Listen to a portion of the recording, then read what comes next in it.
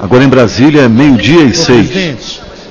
Realização de grandes eventos, de mega eventos, como foi a Copa e a, as próximas Olimpíadas, exige investimento do Estado. E pode ser visto como positivo para a sociedade como um todo. Acontece que nem tudo deve ser aplaudido nas coisas que vêm articuladas a esses eventos com certas positividades.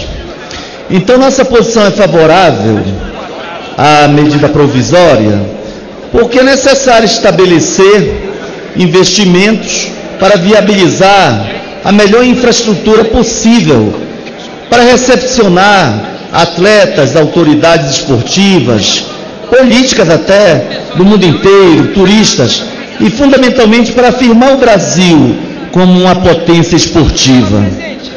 A minha preocupação, no entanto, é que esses investimentos, em geral, nos grandes eventos, trazem consequências sociais graves. Os bilhões gastos na Copa, eles caminharam junto com violências em relação a comunidades. Quem não lembra de Itaquerão? Então é um grande projeto, um grande estádio, com valores acima do originalmente previsto, e a população do entorno sendo removida violentamente, e os que permaneceram ficam na escuridão vendo aquele ponto luminoso do planeta.